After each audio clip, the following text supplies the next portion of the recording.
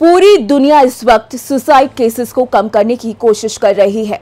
न जाने कितने लोग हैं जो ये सोचते हैं कि ज़िंदगी में सब कुछ खत्म हो चुका है। वो डिप्रेशन में चले जाते हैं और मौत को गले लगाना चाहते हैं। मगर मौत को गले लगाना इतना आसान भी नहीं जितना लगता है।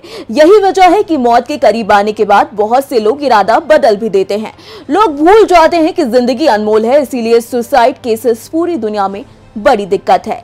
लेकिन अगर हम आपसे कहें कि एक कंट्री ऐसी भी है जो अपने देश के लोगों को सुसाइड करने की इजाज़त दे रही है, वो भी ऐसी मौत जिसमें ना कोई दर्द होगा, ना कोई परेशानी। तो आप क्या कहेंगे?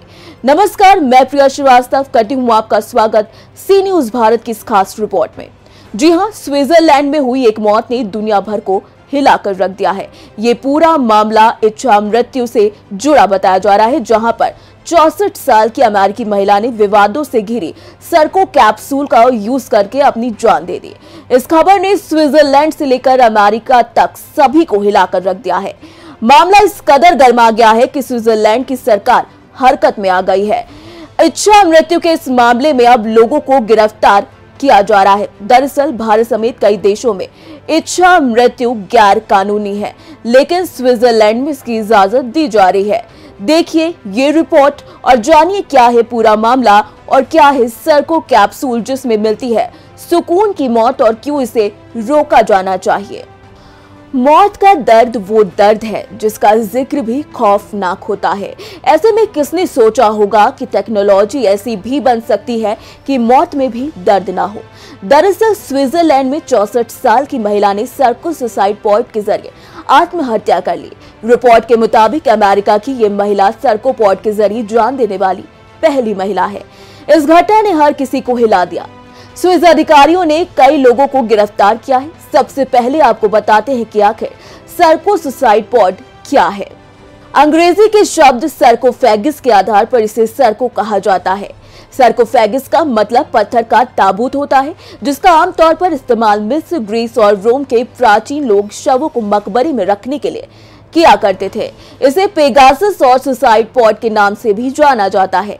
दिखने में ये किसी आराम करने वाले कैप्सूल की तरह होता है, जैसा आपने अक्सर एयरपोर्ट्स पर लगा देखा होगा। इसमें लिक्विड नाइट्रोजन का बॉक्स होता है, जिससे निकलने वाली गैस इंसान को धीरे धीरे मार देती है। वो भी बिना किसी दर्द और परेशानी के। साल 2019 में पहली बार इस कैप्सूल को दुनिया के सामने लाया गया था।